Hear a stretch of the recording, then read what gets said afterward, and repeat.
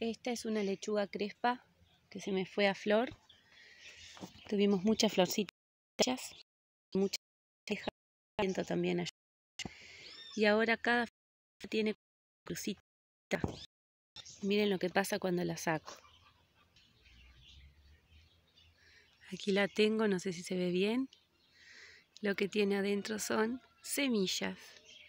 Así que hemos logrado exitosamente seguir todo el proceso y ahora tenemos nuevas semillitas de lechuga crespa.